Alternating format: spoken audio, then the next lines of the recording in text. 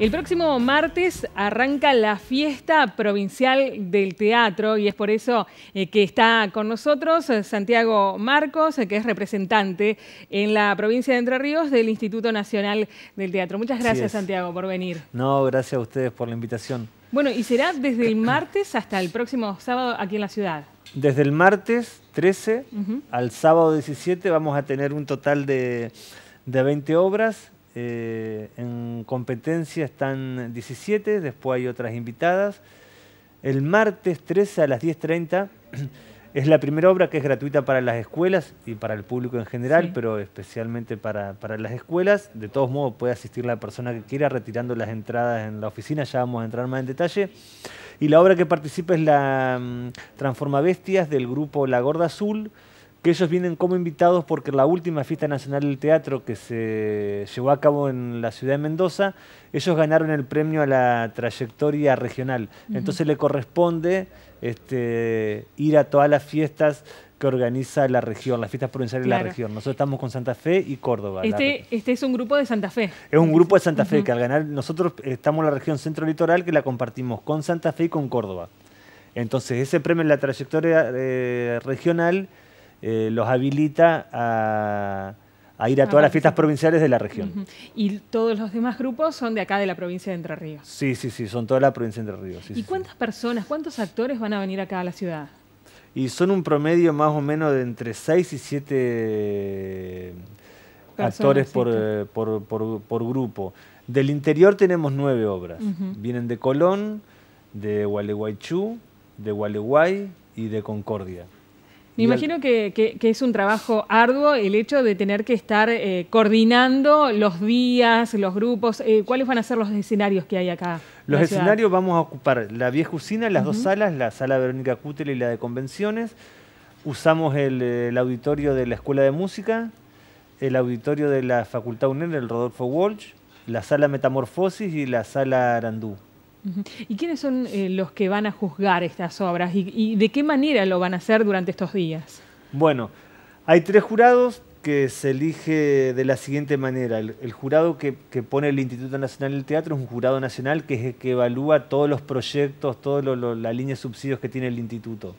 Que en este caso es Isabel de León, una este, directora, actriz, investigadora y docente de Tucumán. Eh, después el organismo cogestor, que en este caso es este, la Secretaría de Turismo y Cultura, que depende del Ministerio de, Comunicación, que volvemos a contar con, su apoyo, que para nosotros es muy importante. Eh, ponen a Juan Schieber, que es un eh, también actor y director de, la provincia, del interior, de Basavilbaso.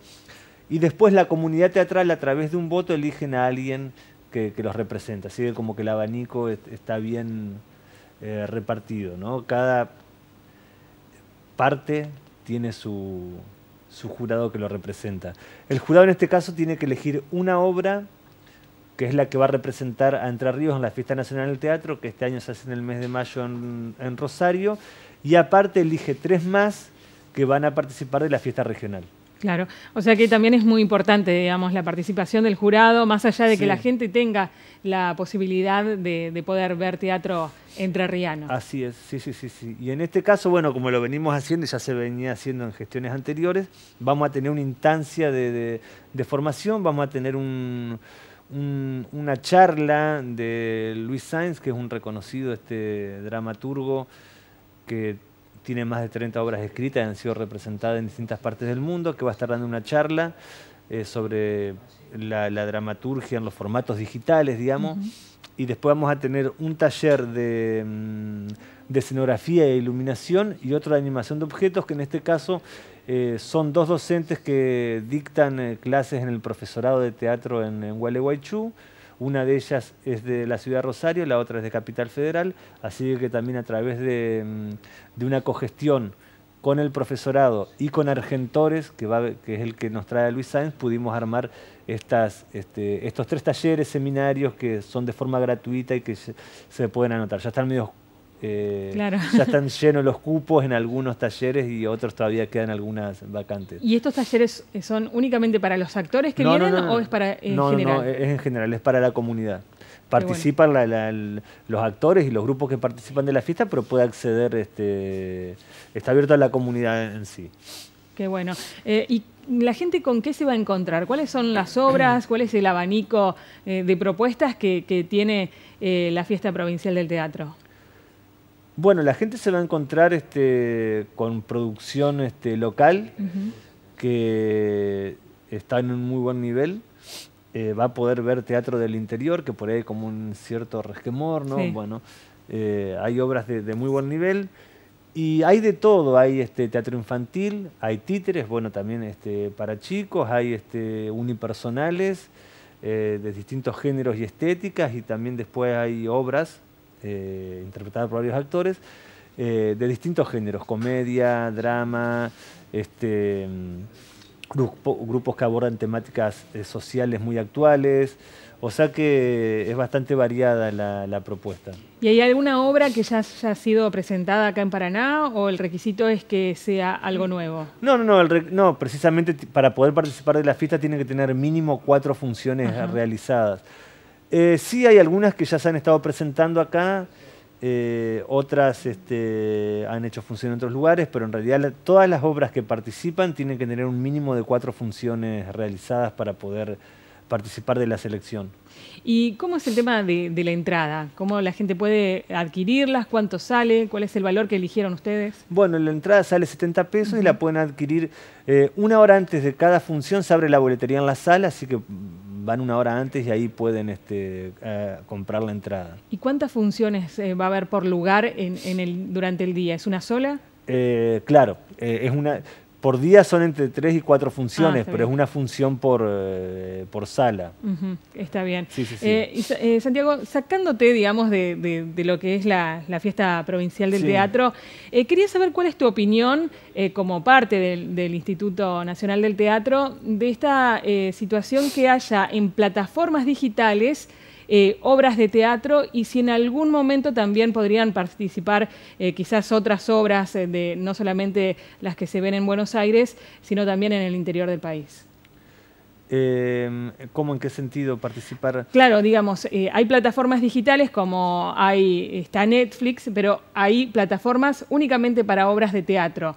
A lo que voy es si esto ayuda, digamos, a, a la difusión del teatro. ¿Cuál es tu postura estando dentro del instituto?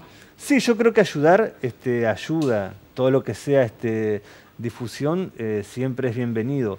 El instituto, digamos, el, em, el teatro es un, es, un, hecho en vivo. Eh, por más que se difunda y, vos lo veas en, en la pantalla, no, no, no, alcanzás a percibir esa energía en ese momento que el actor está. Es como el teatro es un arte efímero, va pasando. Es ese momento, vos vas dejando, vas dejando. Y después hay que volver a construir al otro día o al otro fin de semana, a la función siguiente. Eh, yo lo veo bien porque eh, acerca a la gente, por ahí eh, está bien, no es el teatro en sí, porque es un hecho en vivo, pero por ahí ves algo en la tele que te interesa, bueno, mira, pensé que era otra cosa. Claro. Y, y no, eh, voy a ir, puedo acercarme, eh, veía que el teatro era otra cosa, que era aburrido, y, por ahí verlo en la tele también engancha y es una herramienta para acercar gente a las salas, o sea que mal para mí no está. Claro, sobre todo por esta cuestión tecnológica y las herramientas también que tienen ahora las plataformas digitales, que quizás eh, es una manera también de llegar con otras propuestas, o por eso te, hacía referencia al teatro eh, de, todo el país eh, con respecto a, estas plataformas que están ofreciendo ahora de teatro, que es algo también novedoso. Lo que pasa que hay una, hay una cuestión que lo que nunca va a poder superar la tecnología es el teatro. Claro. Porque al ser un hecho vivo, digamos, el teatro es un arte que está hecho para el cuerpo. Eh, así como el cine, yo considero que es un arte que está hecho para el, para el director, porque el lenguaje del cine es la imagen.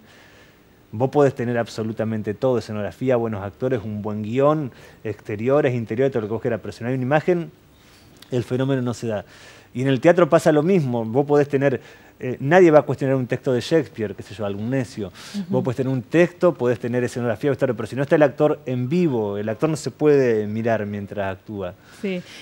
y, eh, además también los, mismos actores y directores eh, dicen que no es lo mismo una obra de teatro los primeros días a que ya haya pasado varios meses, a veces es, una obra que, ha cambiado mucho, que se ha consolidado de otra manera. Y sí, por supuesto, no, e, e, eso ni hablar, digamos. Uno cuando, digamos, el teatro tiene, al menos yo lo concibo así, tiene dos procesos. Uno es ensayo, ensayo, ensayo, ensayo, estreno, se terminó. Ahí empieza otro proceso en donde la obra crece o se estanca, pero algo pasa ahí.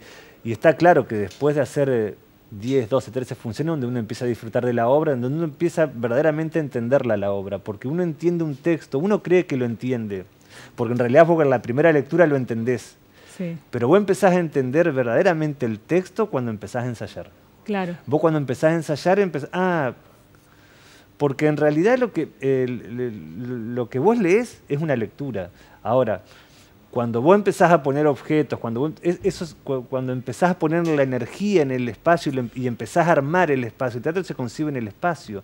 Es como cuando vos te mudás y empezás a armar la casa, empezás a probar el televisor acá, no, pero el sillón me no me queda cómodo y si lo pongo en la tele no voy a dormir, voy a mirar tele, la, cama es para dormir. Y, y ahí es donde empezás a entender la obra, cuando empezás a relacionar con el otro. Claro. Cuando vos te empezás, cuando el actor se relaciona, el actor es con el otro, así es un unipersonal. Eh, porque hay objetos imaginarios con los que vos tenés que relacionarte. Pero cuando vos pones el cuerpo y el otro pone el cuerpo y se genera esa situación que hay que resolver, es donde uno empieza a entender la obra. Y cuando más funciones haces...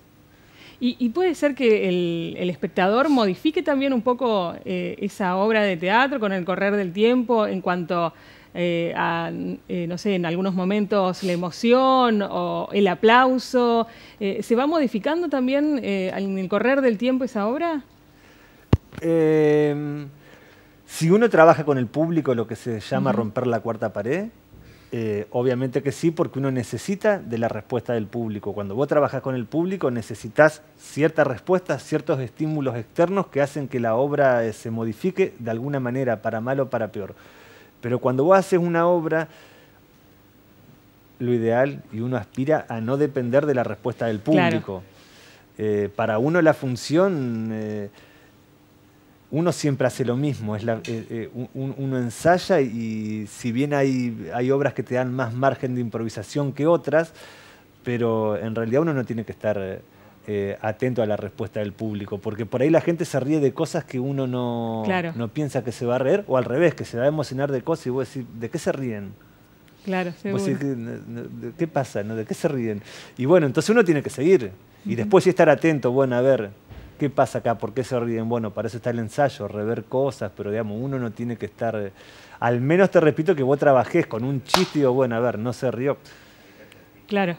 y ahí este, cambiamos. Y, sí, hay algo que no funciona, digamos, ¿no? Como el, el, objetivo de la comedia es provocar la risa en el espectador. Si eso no sucede, hay que revisar algo. Seguro. Eh, bueno, Santiago, la gente va a poder experimentar este teatro vivo entonces a partir del martes y hasta, hasta el, sábado. 17. Y una cosa fundamental que también me parece importante es que el, mismo martes a las, a las 10 de la mañana en la vieja usina, en la Verónica Cúter, vamos a tener una conferencia de prensa donde van a estar las autoridades provinciales y los jurados. Eh, explicando y contando de qué, va a ser la fiesta. Así que si quieren eh, acercarse, lo esperamos porque van a estar autoridades provinciales y nacionales este, dándole una apertura a esta fiesta que es muy importante. Santiago, muchísimas gracias por venir, como siempre. Gracias a usted por la invitación.